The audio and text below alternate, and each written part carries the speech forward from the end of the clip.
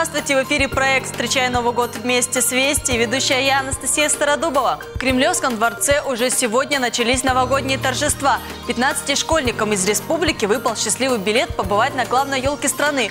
Увидеть Кремль удостоились ребята, проявившие себя в учебе, творчестве и спорте. Победители олимпиад, спортивных соревнований, лауреаты конкурсов.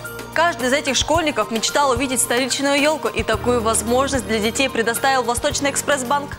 Новый год для детей начался, можно сказать, еще в аэропорту. Проводить их пришел снеговик-путешественник в компании Деда Мороза и Снегурочки. Все участники кремлевской елки получили сладкие подарки. Этот новогодний сюрприз организовала команда Восточного экспресс-банка совместно с аэропортом Абакана. Идею навеяли не только предстоящие праздники, но и желание творить чудеса. Непростой экономической обстановке всем без исключения нужна поддержка и надежность. Прочный запас ликвидности и грамотная политика банка позволяет нам сегодня быть уверенными в завтрашнем дне и сохранять спокойствие в это время.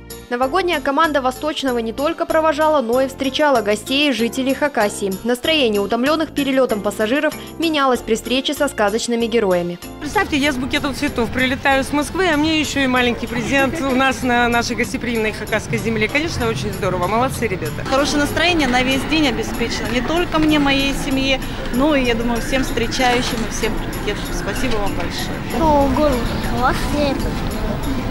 Молодец, держи. Банк «Восточный» уже многие годы радует своих клиентов различными предложениями. Его надежность подтверждена мировыми рейтинговыми агентствами и свидетельствует о высоком уровне доверия клиентов и инвесторов Банку «Восточный».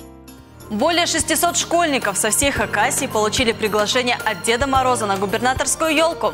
Абсолютно разные и абсолютно не похожие друг на друга. Дети с ограниченными возможностями, сироты, ребята из малообеспеченных семей, ученики городских и сельских школ. Всех их объединил новогодний праздник. Самым успешным детям республики в подарок сказка «Горе бояться, счастья не видать» от актеров Республиканского драмтеатра.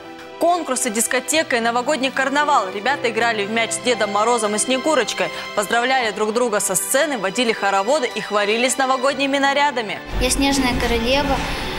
Папа делал посохи корону, а мама шила костюм. Мой костюм ангел.